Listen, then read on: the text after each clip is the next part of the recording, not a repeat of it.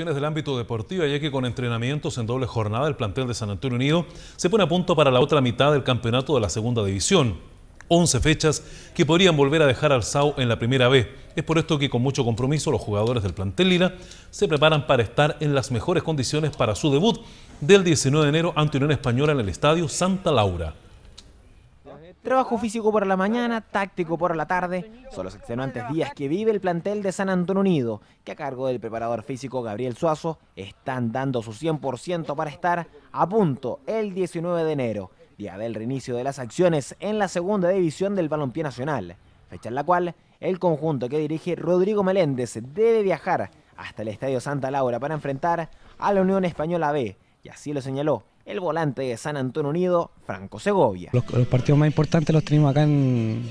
San Antonio, yo creo que eso es muy favorable para nosotros. Y de seguro los vamos a ganar, vamos, vamos a sacar muy buenos resultados y para poder subir, que es lo que queremos nosotros. Quien también está dando su máximo esfuerzo en la pretemporada es Johans Dulcien, volante de creación Lila que se quiso quedar en el SAU por el afecto que ha recibido la institución, con la cual espera hacer historia, donde ya lleva 10 goles en 11 partidos disputados en esta temporada y 18 dianas en este año 2013 vistiendo la tricota lila. La ilusión siempre está ahora, hemos trabajado bien, estamos en una pretemporada muy, muy dura, eh, harta parte física, técnica y entendiendo lo que quiere el profe para, este campeonato. Sí, la idea es siempre seguir marcando goles, pero la idea es que el equipo gane, que, que sirva para obtener los tres puntos de visita o de local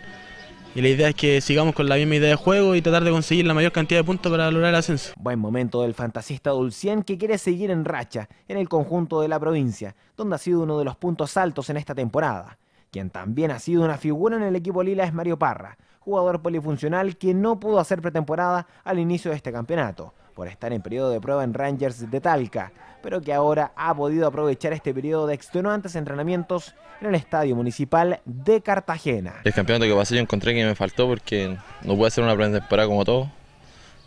pero ya con esta pretemporada creo que ya físicamente me siento como, como llegué acá. Y claro, como tú dices, con mi compañero ya nos conocemos, conocemos las debilidades y las fortalezas de cada uno.